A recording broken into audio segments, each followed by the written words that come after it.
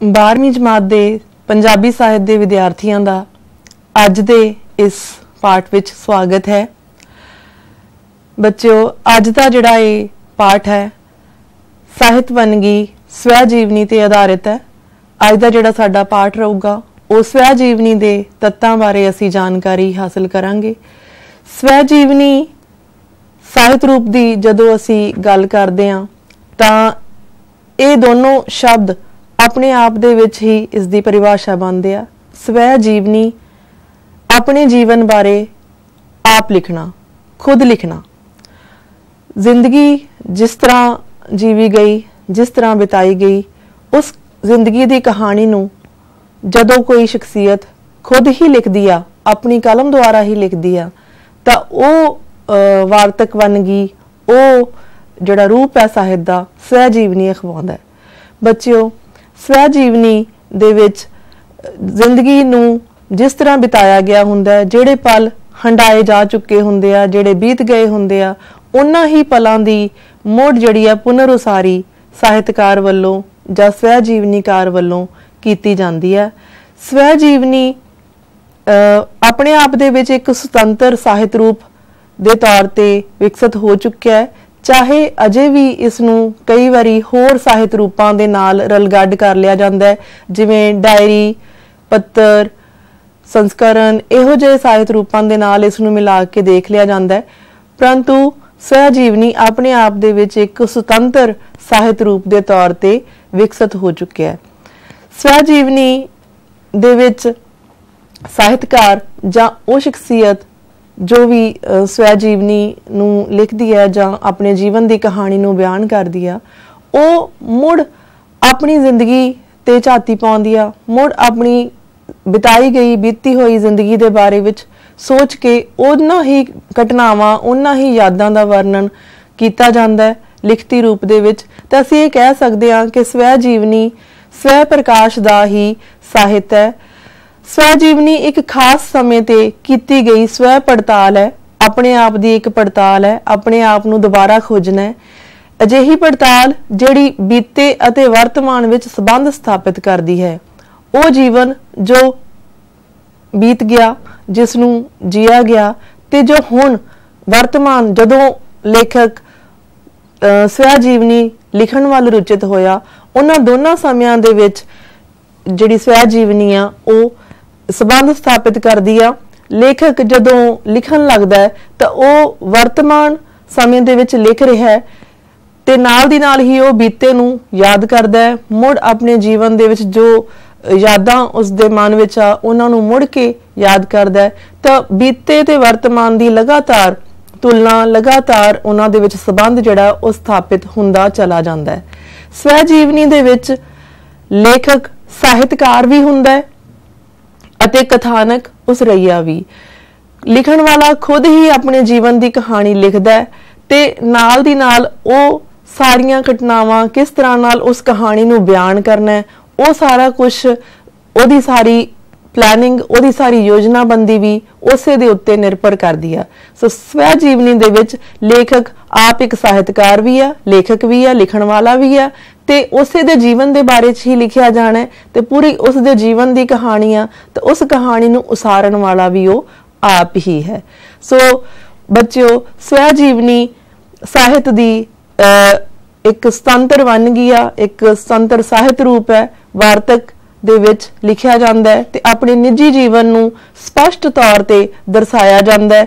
ਸਵੈ ਜੀਵਨੀ ਲਿਖਣ ਦੀ ਜਿਹੜੀ ਪਰੰਪਰਾ ਹੈ, ਉਹ ਪੈਦਾ ਹੀ ਇਸ ਸੋਚ ਵਿੱਚੋਂ, ਇਸ ਲਾਲਸਾ ਵਿੱਚੋਂ ਹੋਈ ਆ ਕਿ ਜਦੋਂ ਕਿਸੇ ਨੂੰ ਇਹ ਲੱਗਦਾ ਹੈ ਕਿ ਉਹ ਆਪਣੇ ਨਿੱਜੀ ਜੀਵਨ ਨੂੰ ਦੂਸਰਿਆਂ ਦੇ ਨਾਲ, ਪਾਠਕਾਂ ਦੇ ਨਾਲ ਸਾਂਝਾ ਕਰ ਸਕਦਾ ਹੈ ਜਾਂ ਉਸ ਦੇ ਜੀਵਨ ਤੋਂ ਕੋਈ ਹੋਰ ਵੀ ਪ੍ਰੇਰਣਾ ਲੈ ਸਕਦੇ ਆ।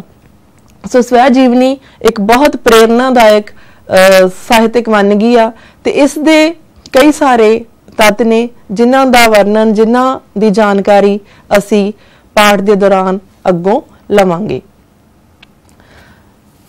ਬੱਚਿਓ, ਸਭ ਤੋਂ ਪਹਿਲਾਂ ਜਿਹੜਾ ਤੱਤ ਹੈ, ਉਹ ਹੈ ਬੰਤਰ ਸਵੈ ਜੀਵਨੀ ਦੀ ਬੰਤਰ ਜਿਹੜੀ ਆ, ਉਹ ਕਿਸ ਪ੍ਰਕਾਰ ਦੀ ਹੋਵੇ, ਕਿਸ ਪ੍ਰਕਾਰ ਉਸ ਨੂੰ ਲਿਖਿਆ ਜਾਵੇ, ਕਿਸ ਤਰ੍ਹਾਂ ਉਸ ਨੂੰ ਬਣਾਇਆ ਜਾਵੇ, ਇਹ ਸਾਰੀ ਵਿਉਂਤਬੰਦੀ ਸਵੈ ਜੀਵਨੀਕਾਰ ਦੇ ਉੱਪਰ ਨਿਰਭਰ ਕਰਦੀ ਆ।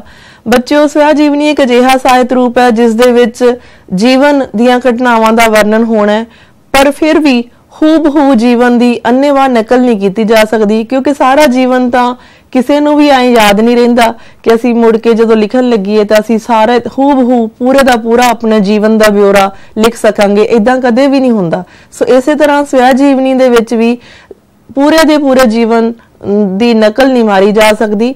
ਕੁਝ ਕੁ ਮਹੱਤਵਪੂਰਨ ਘਟਨਾਵਾਂ ਜਿਨ੍ਹਾਂ ਨੂੰ ਲੇਖਕ ਸਮਝਦਾ ਹੈ ਕਿ ਉਹ ਦੂਜਿਆਂ ਨਾਲ ਸਾਂਝੀਆਂ ਕਰਨਾ ਚਾਹੁੰਦਾ ਹੈ ਜਾਂ ਉਹਨਾਂ ਘਟਨਾਵਾਂ ਤੋਂ ਪੜਨ ਵਾਲੇ ਪਾਠਕ ਕੁਝ ਸੇਧ ਲੈ ਸਕਦੇ ਆ ਜਾਂ ਕੁਝ ਪ੍ਰੇਰਣਾ ਲੈ ਸਕਦੇ ਆ, ਉਹ ਸਾਰੀ ਚੋਣ ਖੁਦ ਕਰਦਾ ਹੈ ਤੇ ਕੁਝ ਮਹੱਤਵਪੂਰਨ ਘਟਨਾਵਾਂ ਦਾ ਵਰਣਨ ਹੀ ਸਵੈ ਜੀਵਨੀ ਦੇ ਵਿੱਚ ਹੁੰਦਾ ਹੈ। ਫਿਰ ਇਹ ਜਿਹੜੀਆਂ ਘਟਨਾਵਾਂ ਹੈ, ਇੱਕ ਲੜੀ ਦੇ ਵਿੱਚ ਪਰੋਈਆਂ ਹੁੰਦੀਆਂ ਤਰਤੀਬਬੱਧ ਤਰੀਕੇ ਦੇ ਨਾਲ ਉਹਨਾਂ ਨੂੰ ਲਿਖਿਆ ਜਾਂਦਾ ਹੈ, ਕਿਉਂਕਿ ਜ਼ਿੰਦਗੀ ਦਾ ਫੈਲਾਅ ਬਹੁਤ ਵੱਡਾ, ਬਹੁਤ ਵਿਸ਼ਾਲ ਹੈ। ਇਸ ਦਾ ਪਸਾਰਾ ਬਹੁਤ ਜ਼ਿਆਦਾ ਹੋਣ ਕਰਕੇ ਸਾਰੇ ਦਾ ਸਾਰਾ ਜੀਵਨ ਨਹੀਂ ਲਿਖਿਆ ਜਾ ਸਕਦਾ। ਤੇ ਲੇਖਕ ਆਪਣੇ ਪੂਰੇ ਜੀਵਨ ਨੂੰ ਕਿਸੇ ਏਕਤਾ ਦੇ ਸੂਤਰ ਵਿੱਚ ਪਰੋਂਦਾ ਤੇ ਇੱਕ ਲਹਿ ਦੇ ਵਿੱਚ ਉਹ ਸਾਰੀਆਂ ਘਟਨਾਵਾਂ ਜਿਹੜੀਆਂ ਉਹਨਾਂ ਦਾ ਵਰਣਨ ਕਰਦਾ ਤੇ ਸਵੈ ਜੀਵਨੀ ਨੂੰ ਹਮੇਸ਼ਾ ਉੱਤਮ ਪੁਰਖ ਦੇ ਵਿੱਚ ਲਿਖਿਆ ਜਾਂਦਾ ਹੈ। ਮੈਂ ਕਰਕੇ ਹੀ ਸਾਰੀ ਦੀ ਸਾਰੀ ਜਿਹੜੀ ਗੱਲਬਾਤ ਹੈ, ਸਾਰੀ ਦੀ ਸਾਰੀ ਕਹਾਣੀਆਂ ਉਸ ਦਾ ਵਰਣਨ ਕੀਤਾ ਜਾਂਦਾ ਹੈ, ਕਿਉਂਕਿ ਲਿਖਣ ਵਾਲਾ ਖੁਦ ਹੀ ਉਸ ਦਾ ਪਾਤਰ ਹੈ, ਖੁਦ ਹੀ, ਖੁਦ ਦੇ ਜੀਵਨ ਬਾਰੇ ਹੀ ਲਿਖ ਰਿਹਾ ਹੈ। ਤਾਂ ਪੂਰੀ ਦੀ ਪੂਰਾ ਜਿਹੜਾ ਵਰਣਨ ਆ ਸਵੈ ਜੀਵਨੀ ਦਾ, ਉਹ ਉੱਤਮ ਪੁਰਖ ਦੇ ਵਿੱਚ ਲਿਖਿਆ ਜਾਂਦਾ ਹੈ। ਸਵੈ ਜੀਵਨੀ ਪੱਤਰ, ਕਹਾਣੀ, ਨਾਵਲ ਅਤੇ ਨਿਬੰਧ ਸ਼ੈਲੀ ਦੇ ਵਿੱਚ ਆਮ ਤੌਰ ਤੇ ਲਿਖੀ ਜਾਂਦੀ ਹੈ। ਇਸ ਤੋਂ ਅਗਲਾ ਜਿਹੜਾ ਤੱਤ ਹੈ, ਉਹ ਹੈ ਪੂਰਾ ਸੱਚ ਜਾਂ ਨੰਗਾ ਸੱਚ। ਬੱਚਿਓ, ਸੱਚ ਦੀ ਪੇਸ਼ਕਾਰੀ ਹੀ ਸਵੈ ਜੀਵਨੀ ਦਾ ਅਸਲ ਮਨੋਰਥ ਹੈ, ਅਸਲ ਮਕਸਦ ਹੈ। ਜਦੋਂ ਕੋਈ ਆਪਣੇ ਜੀਵਨ ਦੀ ਕਹਾਣੀ ਨੂੰ ਖੁਦ ਲਿਖਦਾ ਹੈ, ਤਾਂ ਉਹਦੇ ਪਿੱਛੇ ਉਹਦਾ ਕੀ ਮਕਸਦ ਆ? ਉਹਦਾ ਮਨੋਰਥ ਸੱਚ ਦੀ ਪੇਸ਼ਕਾਰੀ ਕਰਨਾ ਹੀ ਹੈ। ਜ਼ਿੰਦਗੀ ਨੂੰ ਉਸਨੇ ਕਿਵੇਂ ਜੀਵਿਆ, ਉਹ ਦੂਸਰਿਆਂ ਨੂੰ ਆਪਣੇ, ਦੂਜੇ ਉਸ ਨੂੰ ਜਾਣਦੇ ਨੇ, ਪ੍ਰਸਿੱਧ ਸ਼ਖਸੀਅਤ ਦੇ ਤੌਰ ਤੇ ਜਾਣਦੇ ਨੇ, ਪਰ ਉਹ ਖੁਦ ਨੂੰ ਕਿਸ ਤਰ੍ਹਾਂ ਸਮਝਦਾ ਹੈ, ਉਹ ਇਨਸਾਨ ਆਪਣੇ ਆਪ ਦੇ ਬਾਰੇ ਵਿੱਚ ਕੀ ਸੋਚ ਰੱਖਦਾ ਹੈ, ਇਸ ਚੀਜ਼ ਦੀ ਪੇਸ਼ਕਾਰੀ ਕਰਨਾ ਹੀ ਸਵੈ ਜੀਵਨੀ ਦੇ ਪਿੱਛੇ ਅਸਲ ਜਿਹੜਾ ਮੰਤਵ ਹੈ ਉਸ ਦੇ ਲਿਖਣ ਦੇ ਪਿੱਛੇ ਇਹੀ ਇੱਕ ਅਸਲ ਮਨੋਰਥ ਹੁੰਦਾ ਹੈ। ਸੋ ਸੱਚ ਦੀ ਪੇਸ਼ਕਾਰੀ ਸਵੈ ਜੀਵਨੀ ਦਾ ਅਸਲ ਮਨੋਰਥ ਹੈ ਤੇ ਇਸ ਤੋਂ ਇਸ ਪੇਸ਼ਕਾਰੀ ਤੋਂ ਬਿਨਾ ਸਵੈ ਜੀਵਨੀ ਰਚੀ ਹੀ ਨਹੀਂ ਜਾ ਸਕਦੀ।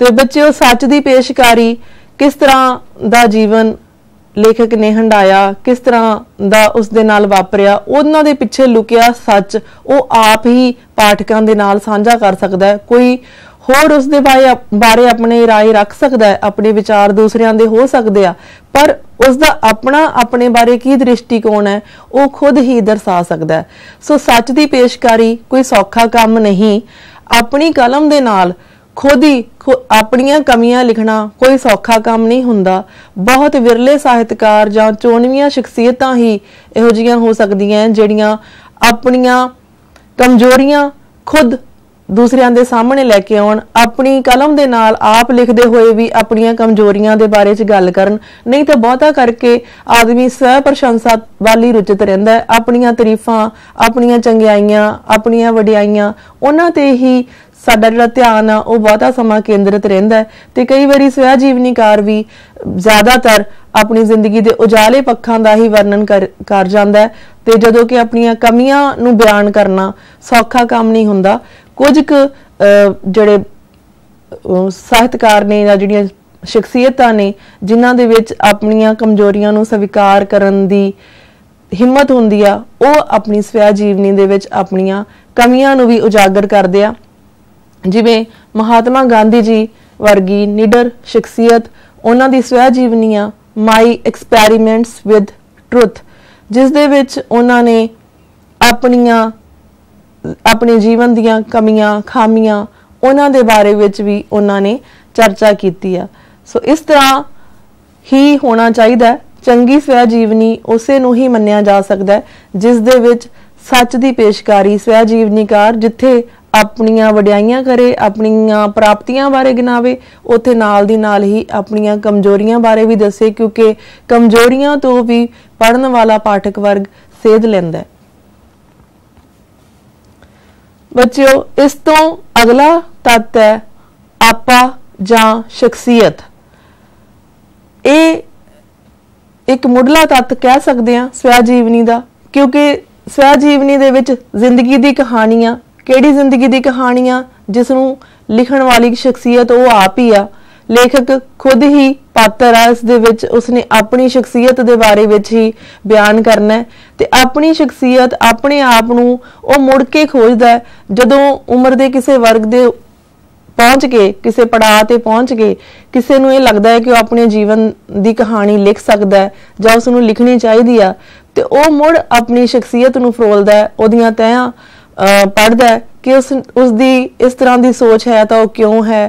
ਇਸ ਤਰ੍ਹਾਂ ਉਸਨੇ ਕੀਤਾ ਤਾਂ ਕਿਉਂ ਕੀਤਾ? ਜਦੋਂ ਇਹ ਸਾਰਾ ਕੁਝ ਪੜਤਾਲ ਉਹ ਕਰਦਾ ਤਾਂ ਉਹ ਆਪਣੀ ਸ਼ਖਸੀਅਤ ਨੂੰ ਹੀ ਮੁੜ ਕੇ ਖੋਜ ਲੈਂਦਾ ਮੁੜ ਲੱਭਦਾ ਤੇ ਇਹ ਜਿਹੜੀ ਉਸ ਦੀ ਕੋਸ਼ਿਸ਼ ਆ ਆਪਣੇ ਆਪ ਨੂੰ ਮੁੜ ਕੇ ਲੱਭਣ ਦੀ, ਮੁੜ ਕੇ ਫਰੋਲਣ ਦੀ, ਪਾਠਕਾਂ ਦੇ ਸਾਹਮਣੇ ਉਸ ਦੇ ਜੀਵਨ ਨੂੰ, ਉਸ ਦੀ ਸੋਚ ਨੂੰ ਉਸ ਦੇ ਦ੍ਰਿਸ਼ਟੀਕੋਣ ਨੂੰ ਸਪਸ਼ਟ ਰੂਪ ਵਿੱਚ ਰੱਖ ਦਿੰਦਾ ਹੈ। ਤਾਂ ਇਹ ਸਵੈ ਜੀਵਨੀ ਦਾ ਇੱਕ ਮੁੱਢਲਾ ਤੱਤ ਹੋ ਨਿਬੜਦਾ ਹੈ। ਆਪਣੇ ਆਪ ਨੂੰ, ਆਪਣੀ ਸ਼ਖਸੀਅਤ ਨੂੰ ਦੂਸਰਿਆਂ ਦੇ ਸਾਹਮਣੇ ਸਪਸ਼ਟ ਰੂਪ ਦੇ ਵਿੱਚ ਰੱਖ ਦੇਣਾ ਵੀ ਚੰਗੀ ਸਵੈ ਜੀਵਨੀ ਦਾ ਇੱਕ ਤੱਤ ਹੈ, ਇੱਕ ਗੁਣ ਹੈ। ਲੇਖਕ ਆਪਣੇ ਆਪ ਨੂੰ ਖੁਦ ਹੀ ਪਾਤਰ ਦੇ ਤੌਰ ਤੇ ਦੇਖਦਾ ਹੈ ਤੇ ਫਿਰ ਉਸ ਦੀ ਪੜਚੋਲ ਵੀ ਕਰਦਾ ਹੈ। ਅਗਲਾ ਜਿਹੜਾ ਜ਼ਰੂਰੀ ਤੱਤ ਹੈ ਬੱਚਿਓ, ਉਹ ਹੈ ਵਿਸ਼ਾ ਵਸਤੂ। ਵਿਸ਼ੇ ਦੀ ਜਦੋਂ ਗੱਲ ਕਰੀਏ, ਕੋਈ ਵੀ ਸਾਹਿਤ ਰੂਪ ਵਿਸ਼ੇ ਤੋਂ ਬਿਨਾ ਨਹੀਂ ਲਿਖਿਆ ਜਾ ਸਕਦਾ। ਵਿਸ਼ਾ ਹਰੇਕ ਸਾਹਿਤਿਕ ਰਚਨਾ ਦਾ ਹੋਣਾ ਜ਼ਰੂਰੀ ਆ। ਜਦੋਂ ਅਸੀਂ ਸਵੈ ਜੀਵਨੀ ਦੀ ਗੱਲ ਕਰਦੇ ਆ ਤੇ ਇਹਦੇ ਵਿੱਚ ਸਭ ਤੋਂ ਮੁੱਖ ਵਿਸ਼ਾ ਕੀ ਆ? ਲੇਖਕ ਦਾ ਆਪਣਾ ਜੀਵਨ, ਆਪਣੀ ਜ਼ਿੰਦਗੀ ਦੀ ਕਹਾਣੀ, ਜਿਸ ਬਾਰੇ ਉਹ ਜੀਵਨ, ਜਿਸ ਦੇ ਬਾਰੇ ਵਿੱਚ ਉਹ ਗੱਲ ਕਰ ਰਿਹਾ ਹੈ, ਉਸ, ਉਹ ਜੀਵਨ ਜੋ ਉਹ ਸਭ ਦੇ ਸਨਮੁਖ ਪੇਸ਼ ਕਰ ਰਿਹਾ ਹੈ। ਸਭ ਤੋਂ ਮੁੱਖ ਵਿਸ਼ਾ ਜਿਹੜਾ ਹੈ, ਉਹ ਲੇਖਕ ਦਾ ਜੀਵਨ ਹੀ ਰਹਿੰਦਾ ਹੈ ਤੇ ਉਸ ਦੇ ਜੀਵਨ ਦੇ ਦੌਰਾਨ ਉਹਨਾਂ ਸਮਿਆਂ ਦੇ ਵਿੱਚ ਕਿਹੋ ਜੀਆਂ ਕਿਹੋ ਜੀਆਂ ਘਟਨਾਵਾਂ ਵਾਪਰੀਆਂ? ਆਰਥਿਕ ਤੌਰ ਤੇ, ਸਿਆਸੀ ਤੌਰ ਤੇ, ਸਮਾਜਿਕ ਤੇ ਸੱਭਿਆਚਾਰਕ ਮਾਨ ਮਰਿਆਦਾ ਕਿੰਨਾ ਚੀਜ਼ਾਂ ਨੂੰ ਸਮਝਿਆ ਜਾਂਦਾ ਸੀ? ਉਹਨਾਂ ਸਮਿਆਂ ਦਾ ਕੀ ਇਤਿਹਾਸ ਸੀ? ਉਹਨਾਂ ਸਮਿਆਂ ਦੇ ਵਿੱਚ ਕਿਸ ਤਰ੍ਹਾਂ ਦੇ ਰਿਵਾਜ ਸੀ? ਕਿਸ ਤਰ੍ਹਾਂ ਦੀਆਂ ਪਰੰਪਰਾਵਾਂ ਸੀ? ਬੱਚਿਓ, ਇਹ ਸਾਰਾ ਕੁਝ ਵੀ ਜਦੋਂ ਅਸੀਂ ਸਵੈ ਜੀਵਨੀ ਨੂੰ ਪੜ੍ਹਦੇ ਹਾਂ, ਤਾਂ ਸਾਡੇ ਸਾਹਮਣੇ ਪੇਸ਼ ਹੁੰਦਾ ਸੋ ਜਿੱਥੇ ਅਸੀਂ ਗੱਲ ਕਰਦੇ ਹਾਂ ਕਿ ਸਵੈ ਜੀਵਨੀ ਦਾ ਜਿਹੜਾ ਵਿਸ਼ਾ ਹੈ, ਉਹ ਲੇਖਕ ਦਾ ਜੀਵਨ ਆ। ਲੇਖਕ ਨੇ ਆਪਣੇ ਜੀਵਨ ਨੂੰ ਉਸ ਨੂੰ ਕਿਹੋ ਜਿਹੇ ਹਾਲਾਤ ਮਿਲੇ, ਕਿਸ ਤਰ੍ਹਾਂ ਦਾ ਜੀਵਨ ਸੀ ਉਸ ਦਾ ਉਸ ਦੇ ਜੀਵਨ ਦੀ ਕਹਾਣੀ ਤਾਂ ਮੁੱਖ ਰੂਪ ਦੇ ਵਿੱਚ ਵਿਸ਼ਾ ਬਣਦੀ ਹੀ ਬਣਦੀ ਆ, ਪਰ ਉਹਨਾਂ ਉਸ ਜੀਵਨ ਦੇ ਸਮੇਂ ਉਸ ਜੀਵਨ ਨੂੰ ਬਿਤਾਉਂਦੇ ਹੋਏ ਕਿਸ ਕਿਸ ਤਰ੍ਹਾਂ ਦੀਆਂ ਘਟਨਾਵਾਂ ਵਾਪਰੀਆਂ, ਰਾਜਨੀਤਿਕ ਤੌਰ ਤੇ ਸਕੂਲੀ ਸਿੱਖਿਆ ਕਿਸ ਤਰ੍ਹਾਂ ਦੀ ਸੀ, ਕਾਲਜ ਕਿਸ ਤਰ੍ਹਾਂ ਦੇ ਸੀ, ਕੁਝ, ਜੋ ਕੁਝ ਵੀ ਉਹ ਦਰਸਾਉਂਦੇ ਨੇ ਆਪਣੀ ਕਹਾਣੀ ਦੇ ਵਿੱਚ, ਉਹ ਸਾਰੀਆਂ ਗੱਲਾਂ ਵੀ ਜਿਹੜੀਆਂ ਇਸ ਸਵੈ ਜੀਵਨੀ ਦਾ ਵਿਸ਼ਾ ਵਸਤੂ ਹੋ ਨਿਬੜਦੀਆਂ ਨੇ। ਅਗਲਾ ਜਿਹੜਾ ਜ਼ਰੂਰੀ ਤੱਤ ਹੈ, ਉਹ ਹੈ ਤਜਰਬਾ ਜਾਂ ਅਨੁਭਵ। ਬੱਚਿਓ, ਜ਼ਿੰਦਗੀ ਤਜਰਬਿਆਂ ਦਾ ਹੀ ਸਮੇਲ ਹੈ। ਜਿੰਨੇ ਵੀ ਅਨੁਭਵ, ਜਿੰਨੇ ਵੀ ਪਲ ਹੰਡਾਏ ਆ ਲੇਖਕ ਨੇ, ਉਹ ਉਸ ਦੇ ਤਜਰਬੇ ਹੋ ਨਿਬੜਦੇ ਆ। ਚੰਗੇ ਜਾਂ ਮਾੜੇ ਕੁਝ ਵੀ ਹੋਣ, ਜ਼ਿੰਦਗੀ ਸਿੱਧ ਪੱਧਰੀ ਨਹੀਂ ਚੱਲਦੀ। ਲਗਾਤਾਰ ਹਰ ਪਲ ਸਿੱਖ ਕੁਝ ਨਾ ਕੁਝ ਨਵਾਂ ਸਿੱਖਦੇ ਆ ਕੁਝ ਨਾ ਕੁਝ ਨਵੇਂ ਤਜਰਬੇ ਕਰਦੇ ਆ ਇਸੇ ਪ੍ਰਕਾਰ ਹੀ ਸਵੈ ਜੀਵਨੀਕਾਰ ਦਾ ਜੀਵਨ ਵੀ ਤਜਰਬਿਆਂ ਤੇ ਆਧਾਰਿਤ ਰਹਿੰਦਾ ਹੈ। ਲੇਖਕ ਦੇ ਜਿਹੜੇ ਨਿੱਜੀ ਅਨੁਭਵ ਆ, ਉਹਦੇ ਜਿਹੜੇ ਨਿੱਜੀ ਤਜਰਬੇ ਆ, ਜਦੋਂ ਉਹ ਸਾਂਝੇ ਕਰਦਾ ਆਪਣੀ ਸਵੈ ਜੀਵਨੀ ਦੇ ਰਾਹੀਂ, ਤਾਂ ਉਹ ਸਾਰੀ ਮਨੁੱਖਤਾ ਦੇ ਲਈ ਗਿਆਨ ਦਾ ਭੰਡਾਰ ਬਣ ਜਾਂਦੇ ਆ। ਅਸੀਂ ਉਸ ਦੇ ਤਜਰਬਿਆਂ ਤੋਂ ਪੜਨ ਵਾਲਾ ਪਾਠਕ ਵਰਗ ਉਸ ਦੇ ਦੁਆਰਾ ਹਾਸਲ ਕੀਤੇ ਅਨੁਭਵਾਂ ਤੋਂ ਸਿੱਖ ਲੈ ਲੈਂਦਾ ਉਹਦੇ ਲਈ ਗਿਆਨ ਬਣ, ਦਾ ਸੋਮਾ ਬਣ ਜਾਂਦੇ ਆ ਉਹ ਤਜਰਬੇ ਕਿ ਜੇ ਲੇਖਕ ਦਾ ਜੀਵਨ ਇਸ ਤਰ੍ਹਾਂ ਦਾ ਸੀ, ਉਸਨੇ ਆਪਣੇ ਜੀਵਨ ਦੇ ਵਿੱਚ ਇਹ ਕਮੀਆਂ ਸੀ ਜਾਂ ਇਸ ਤਰ੍ਹਾਂ ਉਸਨੇ ਉਸ ਨੂੰ ਚੰਗਾ ਤਜਰਬਾ ਹੋਇਆ, ਮਾੜਾ ਹੋਇਆ, ਉਸ ਤੋਂ ਅਸੀਂ ਸਾਰੇ ਸਿੱਖ ਲੈ ਸਕਦੇ ਆ ਆਪਣੇ ਜੀਵਨ ਦੇ ਵਾਸਤੇ ਪ੍ਰੇਰਣਾ ਲੈ ਸਕਦੇ ਹਾਂ। ਇਹ ਜਿਹੜੇ ਤਜਰਬੇ ਨੇ ਪਾਠਕਾਂ ਨੂੰ ਅਸ਼ੁਭ ਨੂੰ ਤਿਆਗਣ ਤੇ ਸ਼ੁਭ ਨੂੰ ਗ੍ਰਹਿਣ ਕਰਨ ਦੀ ਪ੍ਰੇਰਣਾ ਦਿੰਦੇ ਆ। ਜਦੋਂ ਅਸੀਂ ਉਹਨਾਂ ਘਟਨਾਵਾਂ ਦਾ ਵਰਣਨ ਪੜ੍ਹਦੇ ਆ, ਜਿਹਦੇ ਵਿੱਚ ਸਾਨੂੰ ਲੱਗਦਾ ਹੈ ਕਿ ਇਸ ਤਰ੍ਹਾਂ ਨਹੀਂ ਸੀ ਹੋਣਾ ਚਾਹੀਦਾ, ਇਸ ਤਰ੍ਹਾਂ ਲੇਖਕ ਨੇ ਗਲਤ ਕੀਤਾ ਜਾਂ ਉਸ ਦੇ ਨਾਲ ਗਲਤ ਹੋਇਆ, ਤਾਂ ਅਸੀਂ ਉਹ ਸਭ ਕੁਝ ਤਿਆਗ ਦੇਣ ਦੀ ਸੋਚਦੇ ਆ।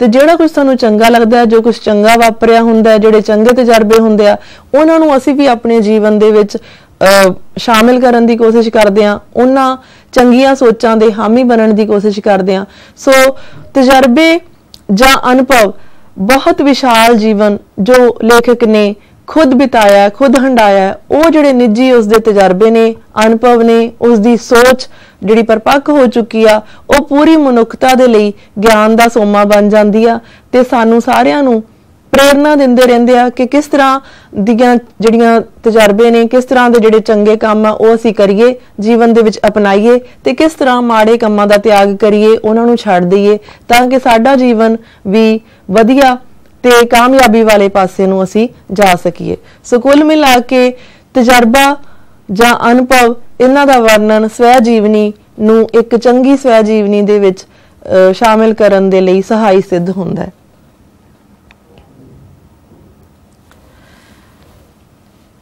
ਇਸ ਤੋਂ ਬਾਅਦ ਅਗਲਾ ਜਿਹੜਾ ਤੱਤ ਹੈ, ਉਹ ਜਿਹੜੀ ਗੱਲ ਹੋਣੀ ਚਾਹੀਦੀ ਆ ਇੱਕ ਸਵੈ ਜੀਵਨੀ ਦੇ ਵਿੱਚ, ਉਹ ਹੈ ਖਾਸ ਵਿਅਕਤੀ। ਸਵੈ ਜੀਵਨੀਕਾਰ ਸਵੈ ਜੀਵਨੀ ਨੂੰ ਲਿਖਣ ਵਾਲਾ ਹਮੇਸ਼ਾ ਹੀ ਕੋਈ ਪ੍ਰਭਾਵਸ਼ਾਲੀ, ਪ੍ਰਤਿਭਾਸ਼ਾਲੀ ਤੇ ਨਾਮਵਰ ਵਿਅਕਤੀ ਹੁੰਦਾ ਹੈ। ਲਿਖਣ ਵਾਲਾ ਉਦੋਂ ਹੀ ਲਿਖਣ ਦੀ ਕੋਸ਼ਿਸ਼ ਕਰਦਾ ਹੈ, ਉਦੋਂ ਹੀ ਲਿਖਣ ਦੀ ਹਿੰਮਤ ਕਰਦਾ ਹੈ, ਜਦੋਂ ਉਸ ਕੁਝ ਨਾਮ ਨਾ ਖੱਟ ਚੁੱਕਿਆ ਹੁੰਦਾ ਹੈ, ਆਪਣੀਆਂ ਪ੍ਰਾਪਤੀਆਂ ਦੇ ਸਦਕੇ ਉਹ ਆਮ ਲੋਕਾਂ ਦੇ ਵਿੱਚ ਪ੍ਰਸਿੱਧ ਹੁੰਦਾ ਹੈ। ਉਸ ਵੇਲੇ ਹੀ ਉਸ ਨੂੰ ਲੱਗਦਾ ਹੈ ਕਿ ਉਸ ਦੀ ਜਿਹੜੀ ਸਵੈ ਜੀਵਨੀ ਆ, ਉਹ ਹੋਣੀ ਚਾਹੀਦੀ ਆ, ਜਿਸ ਤੋਂ ਲੋਕ ਸੇਧ ਲੈ ਸਕਦੇ ਆ। ਸੋ ਕੋਈ ਵੀ ਪ੍ਰਤਿਭਾਸ਼ਾਲੀ, ਪ੍ਰਸਿੱਧ ਤੇ ਨਾਮਵਰ ਵਿਅਕਤੀ ਸਵੈ ਜੀਵਨੀ ਦੀ ਰਚਨਾ ਕਰਦੇ ਨੇ। ਸਵੈ ਜੀਵਨੀ ਲਿਖਣ ਵਾਲਿਆਂ ਦੇ ਵਿੱਚ ਕਈ ਸਾਰੇ ਲੋਕ ਹੋ ਸਕਦੇ ਨੇ ਤੇ ਹੁੰਦੇ ਵੀ ਨੇ। ਸਾਹਿਤਕਾਰ ਸਭ ਤੋਂ ਪ੍ਰਮੁੱਖ ਨੇ, ਕਿਉਂਕਿ ਲਿਖਣ ਦਾ ਰੁਝਾਨ, ਲਿਖਣ ਦੀ ਪਰੰਪਰਾ ਉਹਨਾਂ ਦੇ ਵਿੱਚ ਹੁੰਦੀ ਹੀ ਹੈ ਤੇ ਜਦੋਂ ਉਹਨਾਂ ਨੂੰ ਲੱਗਦਾ ਹੈ ਕਿ ਉਹਨਾਂ ਦਾ ਜੀਵਨ ਜਿਹੜਾ ਹੈ, ਦੂਸਰਿਆਂ ਨੂੰ ਪ੍ਰੇਰਣਾ ਦੇ ਸਕਦਾ ਹੈ, ਸੇਧ ਦੇ ਸਕਦਾ ਹੈ ਜਾਂ ਉਹ ਕੁਝ ਆਪਣੇ ਵਿਚਾਰ ਜਾਂ ਆਪਣਾ ਜੀਵਨ ਦੂਸਰਿਆਂ ਦੇ ਨਾਲ ਸਾਂਝਾ ਕਰਨ ਦੀ ਸੋਚ ਰੱਖਦੇ ਆ, ਉਸ ਵੇਲੇ ਉਹ ਸਵੈ ਜੀਵਨੀ ਦੀ ਰਚਨਾ ਕਰਦੇ ਆ। ਇਹਨਾਂ ਤੋਂ ਇਲਾਵਾ ਦੇਸ਼ ਭਗਤ, ਸਿਆਸਤਦਾਨ, ਸੈਨਿਕ, ਅਭਿਨੇਤਾ, ਖਿਡਾਰੀ, ਵਿਗਿਆਨੀ ਇਹ ਸਾਰੇ ਵੀ ਸਵੈ ਜੀਵਨੀਆਂ ਲਿਖਣ ਵੱਲ ਰੁਚਿਤ ਰਹੇ ਨੇ। ਅਸੀਂ ਬਹੁਤ ਸਾਰੀਆਂ ਉਦਾਹਰਨਾਂ ਸਾਨੂੰ ਮਿਲਦੀਆਂ ਨੇ, ਜਿਨ੍ਹਾਂ ਦੇ ਵਿੱਚ ਅਸੀਂ ਦੇਖਦੇ ਹਾਂ ਕਿ ਪ੍ਰਸਿੱਧ ਖਿਡਾਰੀਆਂ ਵੱਲੋਂ ਆਪਣੇ ਜੀਵਨ ਦੇ ਬਾਰੇ ਵਿੱਚ ਲਿਖਿਆ ਗਿਆ।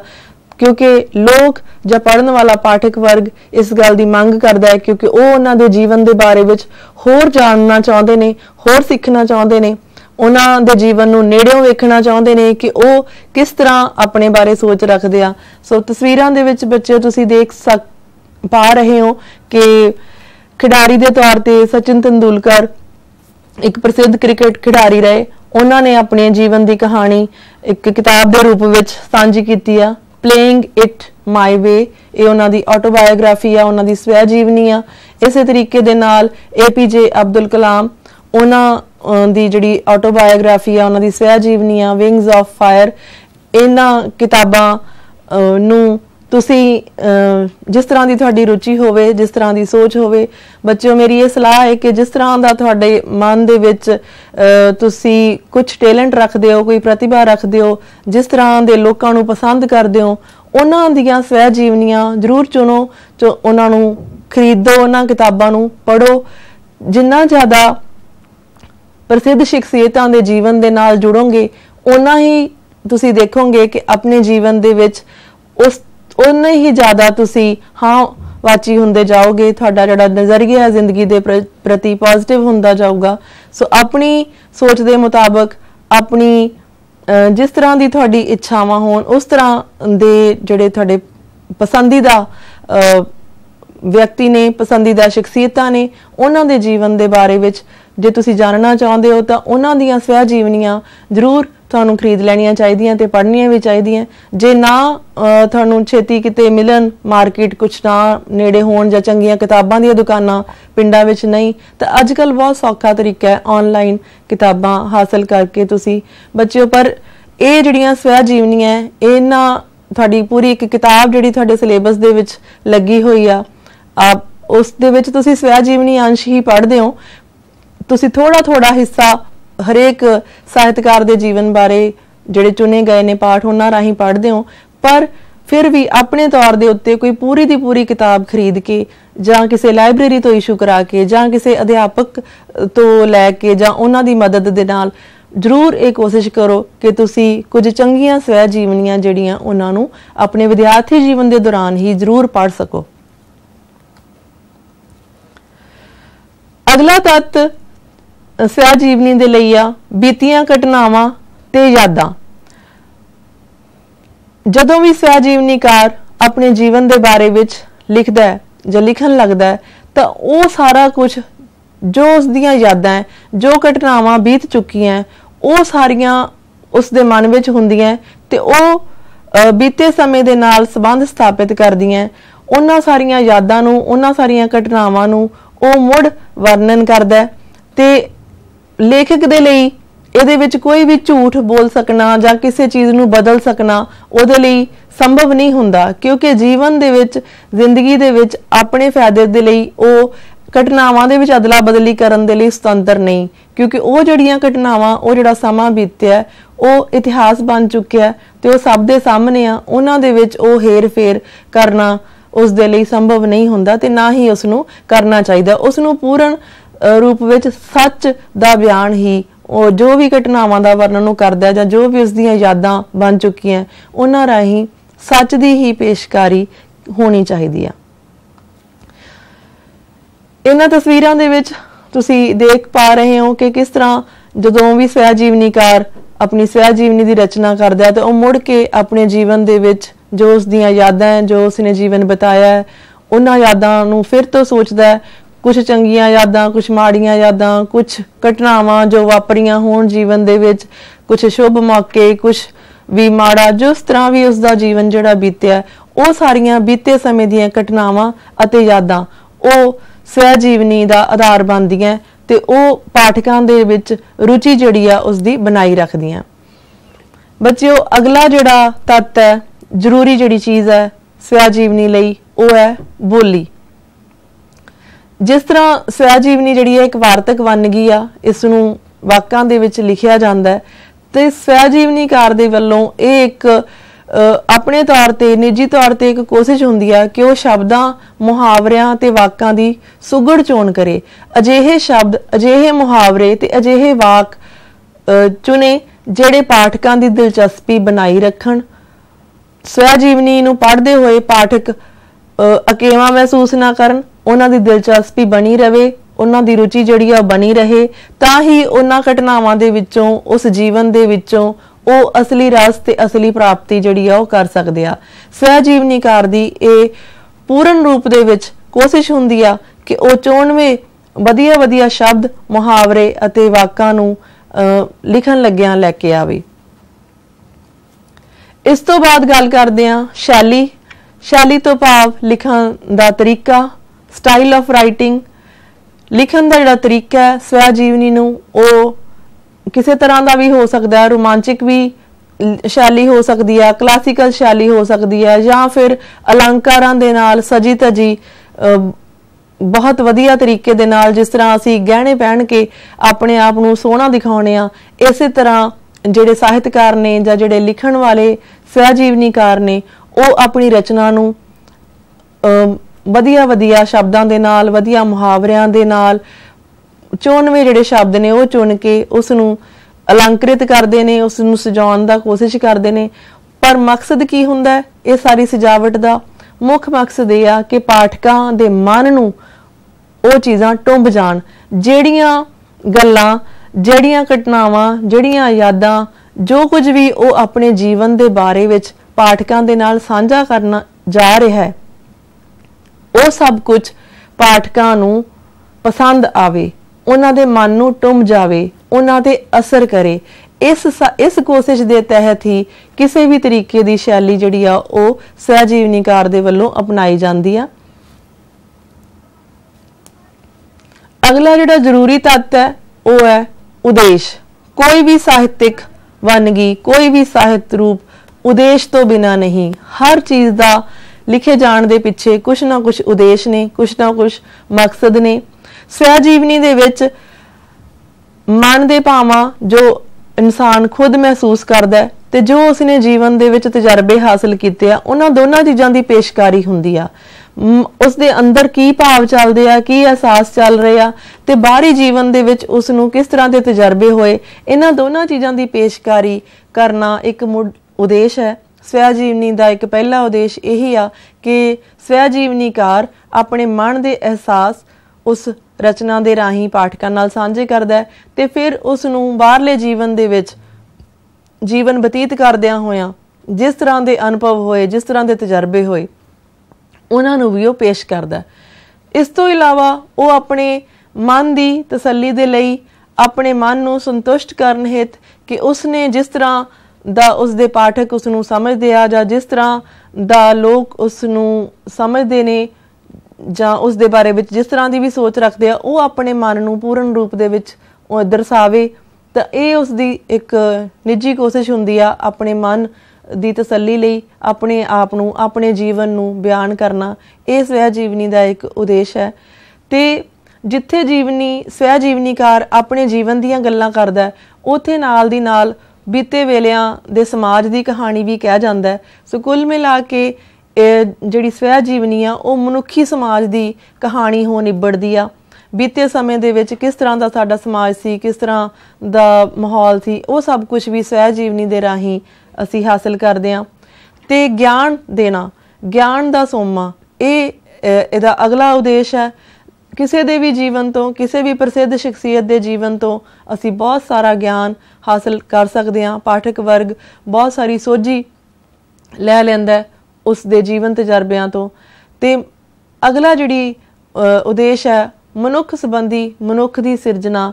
ਮਨੁੱਖਾਂ ਦੇ ਜੀਵਨ ਦੀ ਹੀ ਕਹਾਣੀ ਹੁੰਦੀ ਆ ਤੇ ਉਸ ਨੂੰ ਇੱਕ ਮਨੁੱਖ ਵੱਲੋਂ ਹੀ ਸਿਰਜਿਆ ਜਾਂਦਾ ਹੈ। ਕਹਿਣ ਦਾ ਭਾਵ ਇਨਸਾਨੀ ਜੀਵਨ ਜਿਸ ਤਰ੍ਹਾਂ ਨਾਲ ਚੱਲਦਾ ਆਇਆ ਹੈ, ਜੋ ਸਮਾਂ ਬੀਤ ਗਿਆ, ਉਸ ਬੀਤੇ ਸਮੇਂ ਨੂੰ ਮੁੜ ਕੇ ਸਵੈ ਜੀਵਨੀਕਾਰ ਦੇ ਵੱਲੋਂ ਫਰੋਲਿਆ ਜਾਂਦਾ ਹੈ ਤੇ ਇੱਕ ਨਵੇਂ ਸਾਹਿਤਿਕ ਰੂਪ ਦੀ ਸਿਰਜਣਾ ਜਿਹੜੀ ਆ ਉਹ ਕਰ ਲਈ ਜਾਂਦੀ ਆ। ਸੋ ਕੁੱਲ ਮਿਲਾ ਕੇ ਇਹ ਜਿਹੜੇ ਪੰਜ ਨੇ ਉਦੇਸ਼ ਬਣਦੇ ਨੇ ਸਵੈ ਜੀਵਨੀ ਦੇ। ਸਵੈ ਜੀਵਨੀ ਇੱਕ ਚੰਗੀ ਸਵੈ ਜੀਵਨੀ ਜਿਹੜੀ ਆ, ਉਹ ਇਹਨਾਂ ਉਦੇਸ਼ਾਂ ਦੀ ਪੂਰਤੀ ਕਰਵਾ ਦਿੰਦੀ ਆ। ਫਿਰ ਅਗਲੀ ਜਿਹੜੀ, ਅਗਲਾ ਜਿਹੜਾ ਤੱਤ ਹੈ, ਉਹ ਹੈ ਕਮਜ਼ੋਰੀਆਂ। ਸਵੈ ਜੀਵਨੀ ਦੇ ਵਿੱਚ ਕਿਹੜੀਆਂ ਕਮੀਆਂ ਰਹਿ ਜਾਂਦੀਆਂ ਨੇ ਜਾਂ ਕਿਹੜੀਆਂ ਕਮਜ਼ੋਰੀਆਂ ਆਮ ਤੌਰ ਤੇ ਦੇਖਣ ਨੂੰ ਮਿਲਦੀਆਂ? ਬੱਚਿਓ, ਸਵੈ ਜੀਵਨੀ ਕਿਸੇ ਦੇ ਜੀਵਨ ਤੇ ਆਧਾਰਿਤ ਰਚਨਾ ਹੈ। ਜਿਵੇਂ ਜੀਵਨ ਬਹੁਤ ਵਿਸ਼ਾਲ ਹੈ, ਹਮੇਸ਼ਾ ਗਤੀਸ਼ੀਲ ਹੈ, ਕਦੇ ਠਹਿਰਦਾ ਨਹੀਂ। ਇਸੇ ਤਰੀਕੇ ਦੇ ਨਾਲ ਸਵੈ ਜੀਵਨੀ ਵੀ ਚਲੰਤ ਆ ਉਸ ਨੂੰ ਨਿਯਮਾਂ 'ਚ ਨਹੀਂ ਬੰਨਿਆ ਜਾ ਸਕਦਾ। ਉਸ ਨੂੰ ਕੁਝ ਕਰੜੇ ਨਿਯਮਾਂ ਦੇ ਵਿੱਚ ਨਹੀਂ ਅਸੀਂ ਰੋਕ ਸਕਦੇ, ਕਿਉਂਕਿ ਜੀਵਨ ਲਗਾਤਾਰ ਗਤੀਸ਼ੀਲ ਹੈ ਤੇ ਉਸੇ ਤਰ੍ਹਾਂ ਦੇ ਨਾਲ ਸਵੈ ਜੀਵਨੀ ਵੀ ਉਸ ਜੀਵਨ ਦੀ ਕਹਾਣੀ ਬਣਦੀ ਆ। ਉਸ ਨੂੰ ਅਸੀਂ ਕਰੜੇ ਨਿਯਮਾਂ ਦੇ ਵਿੱਚ ਨਹੀਂ ਬਣ ਸਕਦੇ। ਤੇ ਜਿਸ ਤਰ੍ਹਾਂ ਜੀਵਨ ਕਦੇ ਸੰਪੂਰਨ ਨਹੀਂ ਹੁੰਦਾ, ਜ਼ਿੰਦਗੀ ਦੀ ਕਹਾਣੀ ਚੱਲਦੀ ਰਹਿੰਦੀ ਆ, ਲੇਖਕ ਭਾਵੇਂ ਕਿੱਡਾ ਵੀ ਮਹਾਨ ਹੋਵੇ ਉਸ ਦਾ ਜੀਵਨ ਕਦੇ ਵੀ ਪੂਰਨ ਨਹੀਂ ਉਹ ਕਹਿ ਸਕਦਾ, ਇਸੇ ਤਰੀਕੇ ਦੇ ਨਾਲ ਸਵੈ ਜੀਵਨੀ ਵੀ ਕਦੇ ਸੰਪੂਰਨ ਨਹੀਂ ਹੁੰਦੀ। ਤੇ ਆਮ ਤੌਰ ਤੇ ਜਿਹੜੀ ਇੱਕ ਕਮਜ਼ੋਰੀ ਦਿਸਦੀ ਆ ਸਵੈ ਜੀਵਨੀਆਂ ਦੇ ਵਿੱਚ, ਉਹ ਹੈ ਕਿ ਸਵੈ ਪ੍ਰਸ਼ੰਸਾ ਦੀ ਰੁਚੀ।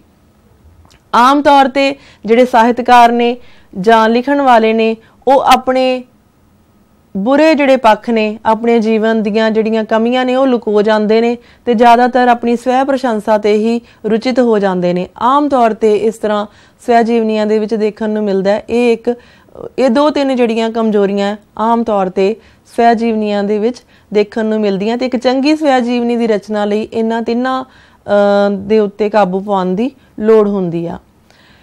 ਫਿਰ ਅੱਗੇ ਗੱਲ ਕਰਦੇ ਆ ਪੰਜਾਬੀ ਸਾਹਿਤ ਦੇ ਵਿੱਚ ਸਵੈ ਜੀਵਨੀਆਂ ਜਿਵੇਂ ਅਸੀਂ ਪਹਿਲਾਂ ਗੱਲ ਕਰ ਲਈ ਕਿ ਕੋਈ ਵੀ ਸਵੈ ਜੀਵਨੀ ਲਿਖ ਸਕਦਾ ਹੈ, ਕੋਈ ਵੀ ਪ੍ਰਤਿਭਾਸ਼ਾਲੀ ਸ਼ਖਸੀਅਤ, ਕੋਈ ਵੀ ਪ੍ਰਸਿੱਧ ਸ਼ਖਸੀਅਤ ਆਪਣੇ ਜੀਵਨ ਦੀ ਕਹਾਣੀ ਆਪਣੇ ਪ੍ਰਸ਼ੰਸਕਾਂ ਦੇ ਨਾਲ ਸਾਂਝੀ ਕਰ ਸਕਦਾ ਹੈ ਸਵੈ ਜੀਵਨੀ ਦੇ ਰੂਪ ਵਿੱਚ। ਪਰ ਸਾਹਿਤਕਾਰ, ਜੇ ਪੰਜਾਬੀ ਸਾਹਿਤਕਾਰਾਂ ਦੀ ਗੱਲ ਕਰੀਏ, ਤਾਂ ਕਾਫੀ ਸਾਰੇ ਸਾਹਿਤਕਾਰਾਂ ਨੇ ਸਵੈ ਜੀਵਨੀਆਂ ਲਿਖੀਆਂ। ਤੁਹਾਡੇ ਸਾਹਮਣੇ ਸਕਰੀਨ ਦੇ ਉੱਪਰ ਬਹੁਤ ਸਾਰੇ ਸਾਹਿਤਕਾਰਾਂ ਦੇ ਨਾਮ ਤੇ ਨਾਲ ਦੀ ਨਾਲ ਹੀ ਉਹਨਾਂ ਦੀਆਂ ਸਵੈ ਜੀਵਨੀ ਕਿਤਾਬਾਂ ਦੇ ਨਾਮ ਵੀ ਸਾਹਮਣੇ ਨਜ਼ਰ ਪੈ ਰਹੇ ਨੇ। ਬੱਚਿਓ, ਤੁਸੀਂ ਇਹਨਾਂ ਕੁਝ ਕੁ ਸਵੈ ਜੀਵਨੀਆਂ ਦੇ ਨਾਮ ਜ਼ਰੂਰ ਨੋਟ ਕਰ ਲਓ ਆਪਣੀ ਨੋਟਬੁੱਕ ਦੇ ਉੱਤੇ। ਵੈਸੇ ਤੁਸੀਂ ਆਪਣੀ ਜਿਹੜੀ ਕਿਤਾਬ ਹੈ ਆਪ ਬੀਤੀਆਂ, ਉਹਦੇ ਵਿੱਚ ਵੀ ਬਹੁਤ ਸਾਰੇ ਸਵੈ ਜੀਵਨੀ ਅੰਸ਼ ਪੜ੍ਹ ਪੜ੍ਹਦੇ ਹੋ ਜਾਂ ਕੁਝ ਪੜ੍ਹ ਚੁੱਕੇ ਹੋ ਕੁਝ ਪੜ੍ਹ ਲਓਗੇ, ਤੇ ਉਹਦੇ ਵਿੱਚ ਵੀ ਉਹ ਸਾਰੇ ਕਿਤਾਬਾਂ ਦੇ ਨਾਮ ਜ਼ਰੂਰ ਦੇਖਿਆ ਕਰੋ ਕਿ ਇਹ ਸਵੈ ਜੀਵਨੀ ਅੰਸ਼ ਕਿਹੜੀ ਕਿਤਾਬ ਦੇ ਵਿੱਚੋਂ ਲਿਆ ਗਿਆ ਹੈ। ਉਸ ਕਿਤਾਬ ਦਾ ਨਾਮ ਤੁਹਾਡੇ ਕੋਲ ਜ਼ਰੂਰ ਰਹਿਣਾ ਚਾਹੀਦਾ ਤਾਂ ਕਿ ਜਦੋਂ ਵੀ ਕਦੇ ਤੁਹਾਨੂੰ ਉਹ ਕਿਤਾਬ ਨਜ਼ਰੀ ਪਵੇ, ਤਾਂ ਤੁਸੀਂ ਉਸ ਨੂੰ ਖਰੀਦ ਸਕੋ ਤੇ ਪੜ੍ਹ ਸਕੋ।